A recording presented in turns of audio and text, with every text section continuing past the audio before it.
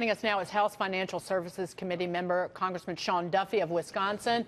Will you vote for this short-term funding bill, Congressman? Only if you eat crow, Dagen, um, on our tax bill.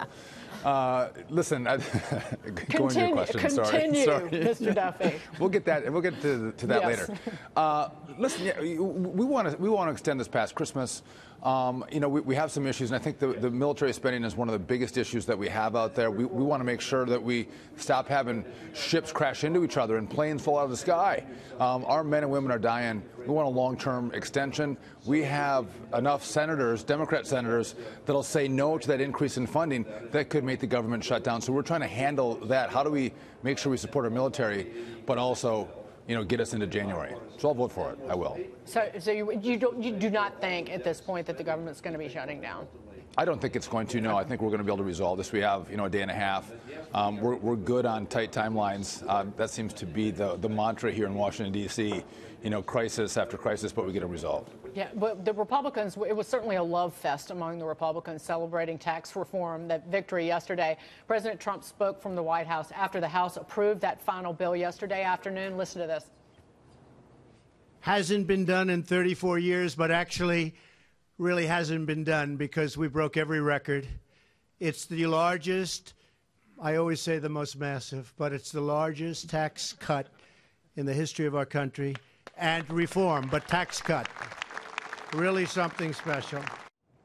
Companies, AT&T, Comcast, just a couple to name, now say that yeah. the GOP tax bill means a $1,000 bonus to all their employees. That's 300,000 between Comcast and AT&T alone.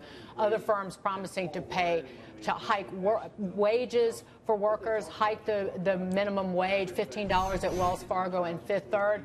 What do you make of these companies stepping up already? Because uh, there's a lot of cynicism out there about it, but what do you say to it? Well, there's a lot of misinformation out there, Dagen, that the left-wing media pushes that, that actually Democrats and Democrat leaders have pushed. Um, we, I, we didn't know what AT&T and Qualcomm or Wells Fargo was going to do or Boeing was going to do with their investments or their, their Christmas gifts to their employees. We didn't see that on the horizon. But what we know is that if we give businesses more of their own money to spend the way they see fit instead of here in Washington, they do pretty cool things. They'll invest it, they'll innovate, they'll create, they'll give bonuses to the people that make their companies great. And that's exactly what we saw. And this was our point to Democrats who were thinking this was so horrible for the middle class. We said, you know, no, this, this actually helps the middle class. It offers more opportunity and more upward mobility.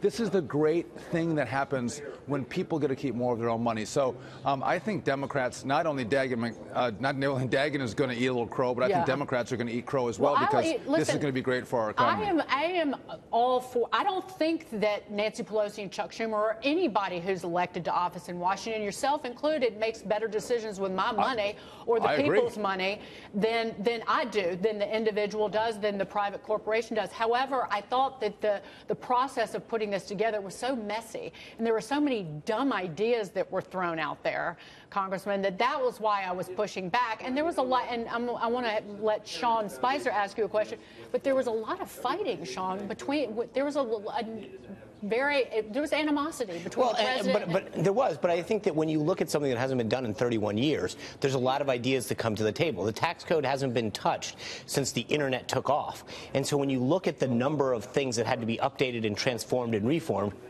there's a lot of people that wanted to come to the table with their ideas.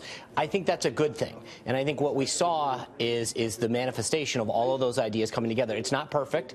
There's going to be some problems. There's going to be some technical corrections. But I think, Sean, one of the things that I'd like to ask you is, in your time in Congress, where do you think this will rank in terms of all of the bills and all of the legislation that you've seen pass or been part of?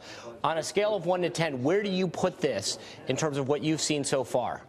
Hey, good to see you, Sean. Um, an awesome job. You're part of this great story. I mean, the good work that you've done to help sell this to the American people, building the momentum for the big day yesterday. Thank you for that. But listen, I've been I've been in Congress for seven years. This is the biggest thing that I've been part of, and I think this will be the biggest thing that I'm part of in my whole career in Congress. This is huge um, for our economy and for the American people. Um, but but let me go back to the point of you know there was dumb ideas, Dagen, and you're right. I think what's happened though is we call it sausage making because it's an ugly process. Uh, what happened in the past is it was happening behind closed doors. We didn't have a 24-hour news cycle. Um, we didn't have the internet. Well, we have those tools now, and the doors have opened up, and I think the American people see some of the good ideas, the dumb ideas, the bickering, the fighting, the exchanging of ideas.